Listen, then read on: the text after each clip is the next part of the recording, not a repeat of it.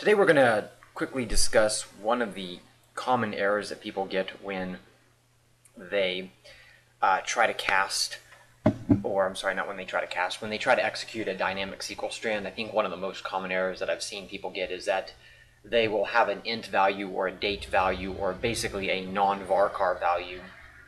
And um, when the exa, I'm sorry, when the dynamic SQL is executing, it fails. So really quickly, uh, what we can do from scratch is we'll declare a SQL, which will be for our dynamic SQL, and then we'll declare i as an int, and we will set i equal to 1. And then we will set SQL equal to select, and then plus i. So, I'm sorry. So what this should do is it should return 1. We're selecting 1. Now, um, apply this to like a table example, that would be like you had a stored procedure and this represented a numeric value and it was select star from table where um, value equals the parameter that someone passes in. I'm using an overfly, oversimplified example to, to get the error. So the error that you'll get is conversion failed when converting the varchar value select to data type int. Now it's not the select that's throwing the error, it's this value right here the i. Notice that the um, select is part of the SQL. The SQL is uh, the varchar max, and i is an int. Um, in order for us to select the i, we must cast the int as a varchar, or a varchar. In this case, I'm just going to cast it as a varchar. You'll notice, for instance, it returns 1, right?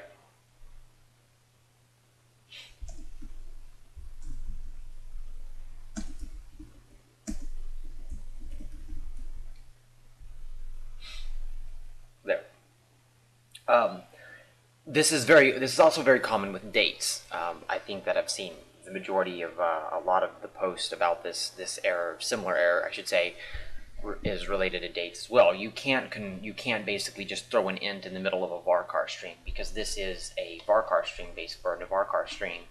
And even though it's going to execute this statement, everything as a part of this, since it's nvarchar, must also be uh, a varchar. So that doesn't mean that you can't have a value that's an int. Like your stored procedure, you can still have an int. You will just want to cast the int. Or if it's a date, you'll want to convert or cast the date um, as a varchar. And then execute your dynamic SQL string.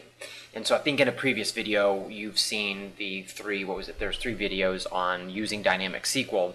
And I believe in, in one of those I did cast dates.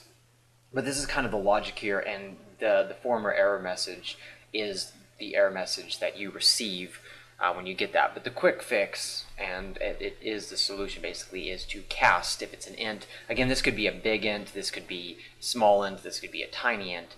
It doesn't it doesn't matter. It's a numeric value. It needs to be cast as a varchar in order to be inputted into a varchar string and then executed.